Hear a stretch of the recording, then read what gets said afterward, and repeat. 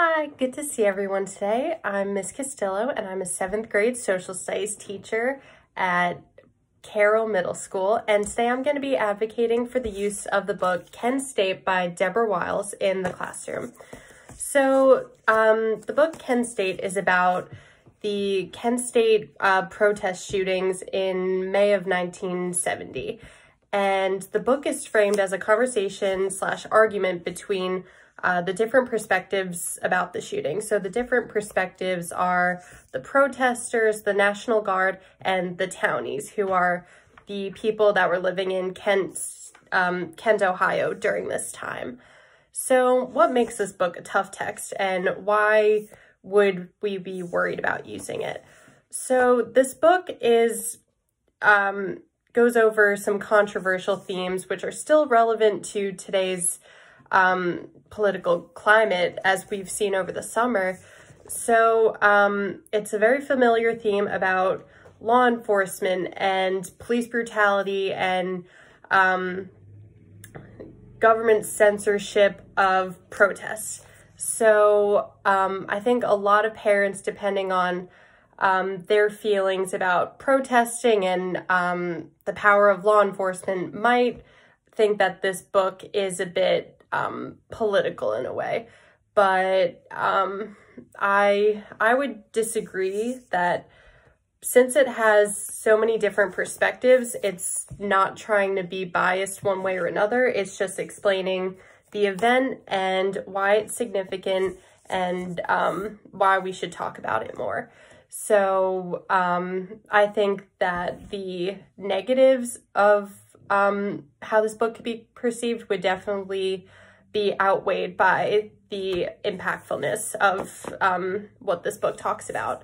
So again, why why would I teach this book? So, I mean, although the book is about an event that happened almost 50 years ago, again, it's still very culturally relevant to today. Um, over the summer, we saw the Black Lives Matter protests and um, the police brutality that was displayed during these protests. And um, just censor censorship in general. And this book um, really goes to show that um, I guess we don't learn from our past. So um, Kent State, during the shooting, uh, four students were killed by the National Guard. And I think this is very similar to, um, although it wasn't a race issue that's talked about in this book, it's still about police brutality and um, law enforcement taking it too far when trying to shut down a protest. Um, I also think this book is really good to teach because it provides multiple perspectives on the event, which gives students the whole picture of what happened um, during those four days of the protests. So having those different perspectives balances out um, any sort of bias or anything like that because it, it really shows what the perspective of each side of the argument was. And um, I guess the argument would be, um, were the shootings justified? Which um, it might have to be worded a bit better, but that's the general gist. Um, were the National Guard, was the National Guard, um, you know, justified in doing what they did? So that would be a question for students to explore. Um, what are some difficulties that students might face while reading? So students may, um, or students may experience modal and tactical difficulties while reading this book because just because of the way it's formatted. So I'll show you guys here. So it's formatted almost like a conversation between the different perspectives. So it's not like a normal book where it's line after line after line. It's one character talking, then another one talking, and then, and um, so it's kind of formed maybe like a text message I would probably tell my students. Think of it as um, a book of text messages. And I think that could really help understand, you know, how to read this book. And um, I guess another hard part about it is that you don't really, it, the book doesn't tell you who's speaking for each line. You kind of have to figure it out yourself based on what the character is saying, what the line is saying, and it jumps back and forth. um, between the three different perspectives. And so that could get a bit confusing with students, but um, one way that I would um, try to help with this difficulty is, well, first to start off, before even reading this book, I would do a timeline activity with students. So there's this article that goes over the whole timeline of events um, of what happened in in May of 1970 on the Kent State campus. So I think that could really give students a background knowledge of what this book is going to be about, what the different perspectives are, who's involved, what the issue was, and I think that could really help with understanding the format of this book and just how to um, just go about reading it, really.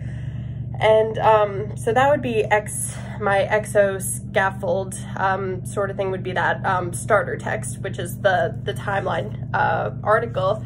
So then also for endotext, what I would do is, well, so I would plan on reading the book as a class. So either me reading it to the students or having the students take turns reading lines.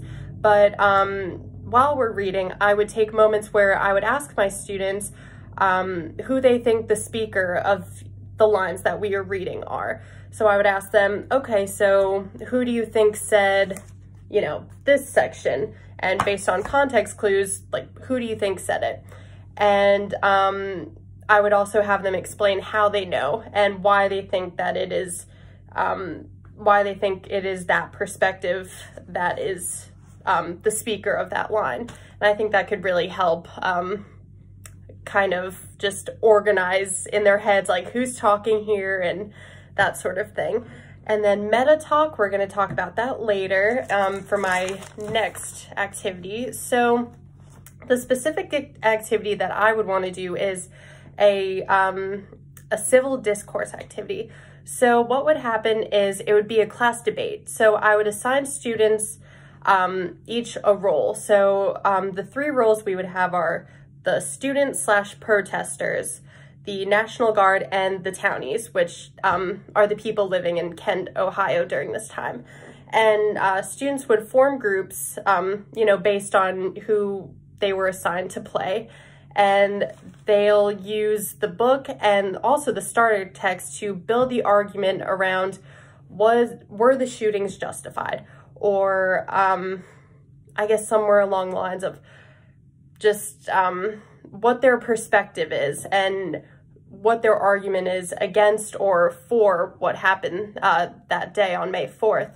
So um, they would argue from the point of view of that um, perspective that they were assigned with their groups um, about the event. And I think that would be a really good way to practice civil discourse because this is a very emotional topic and it's very controversial. And I think this would be really good practice for students to understand different points of views, but also res or respecting other points of views, but also being able to argue their own, again, in a respectful way. So I think this would be really good practice. Um, also, um, this would also count as an assessment, but actually let me talk about the meta talk first, actually. So um, after we have our discussion, I would hold a, um, a class discussion about um, how it felt playing these different perspectives and how it made them feel and um, just what they thought about it in general. And then also I would ask them how they think an event like this can both divide or unite communities.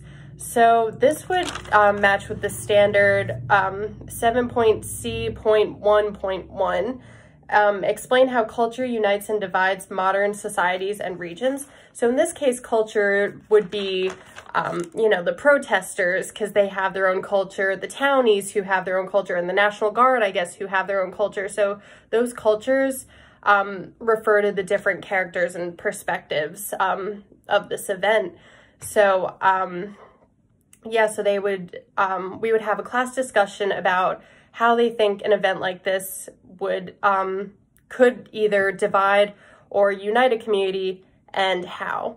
So I guess um, uniting communities, it could be, um, you know, after the shootings, all the different perspectives coming together and talking it out and I guess finding some sort of peace with the situation or communities being um, even just the protesters being one community, um, uniting them and, you know, helping each other through this hard time of losing um, very close classmates or um, dividing. Uh, obviously, this um, this event divided the townies and the National Guard and the the protesters because there's a lack of trust on all of those sides. So that was something that students would explore during that um, during that uh, discussion.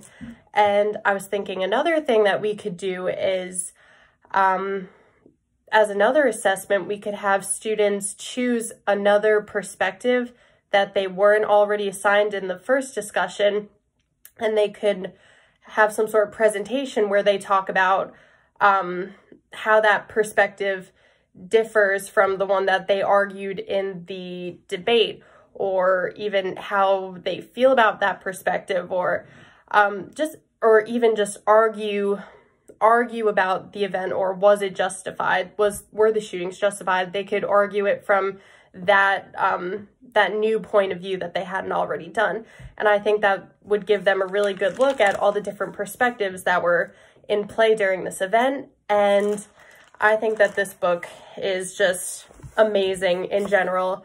And I, I would really recommend it and I would absolutely love to teach it in my classroom. So I'm really hoping that I get the approval because um, it's an amazing book and it has so many different things that students can learn from and just connect it to their own worlds. I mean, this book is just it's just so culturally relevant to today with all the different themes in it and the situation. It's it's very um, relevant to what students are seeing on the news, um, you know, now even. It's just, um, yeah, 50 years later, the these um, issues are still part of our society. And I think it's really important for students to see um, all the different ways that this issue can manifest itself. So, um, yeah, really hope you guys approve this book. Very excited to teach it. Thanks for listening.